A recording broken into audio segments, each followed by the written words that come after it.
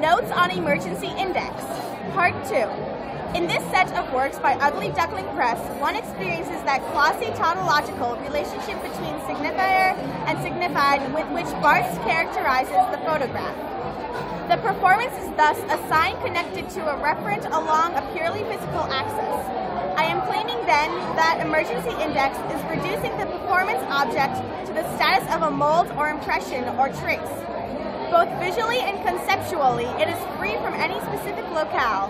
Therefore, whatever occurs within the perimeters of the book must be accounted for with reference to some kind of internal logic of the work. The demands of an internal logic are met by the use of joined panels. So the seam between the two color fields marks an actual physical rift within the fabric of the books as a whole. Performances are understood instead as shifters, empty signs, like the word this, that are filled with meaning only when physicality, physically juxtaposed with an external reference or object.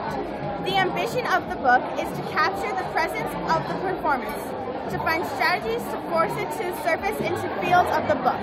Barthes says of the photograph, the type of perception it implies is truly without percentage.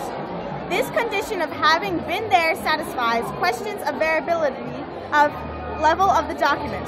Truth is understood as a matter of evidence rather than a function of logic, but emergency index's visual and formal effect was that of captioning, of bowing to the implied necessity of to add a surfeit of written information to the depleted power of painted sign.